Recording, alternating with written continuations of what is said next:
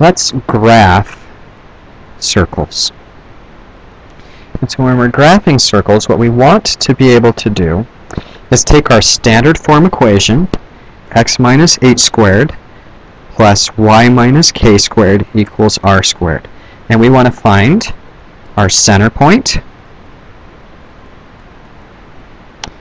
which is at hk, and our radius, which is r.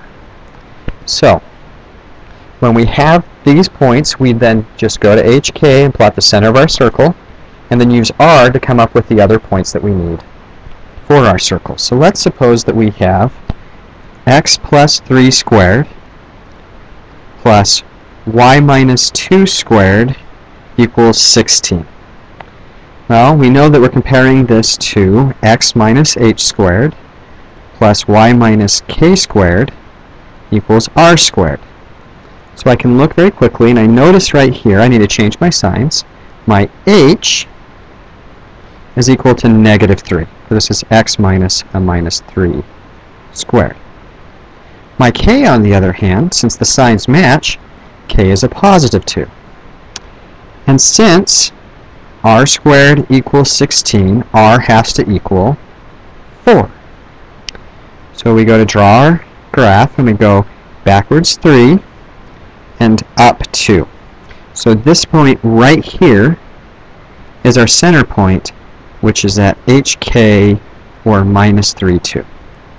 Then we just move our radius, 1, 2, 3, 4, up, 1, 2, 3, 4, to the left, 1, 2, 3, 4, and down, 1, 2, 3, 4. And you'll notice that because my tick marks aren't perfect, my circle is not perfect, but that'll give me an idea of the circle.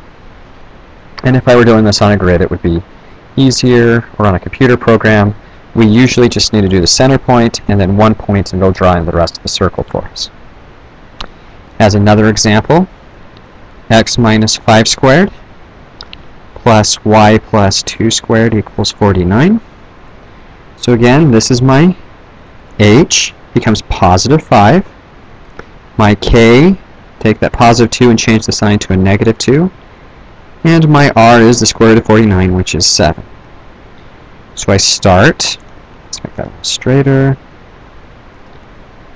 at 1, 2, 3, 4, 5, down 2. There's my center point.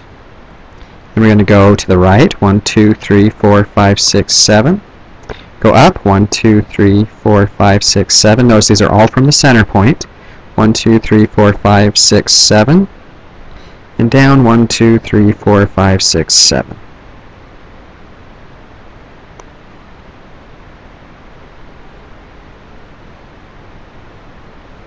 And there's our really ugly circle. But the important part is that we get our center point at 5, negative 2, and that we then just add 7 in each of the directions, so this becomes 12, negative 2.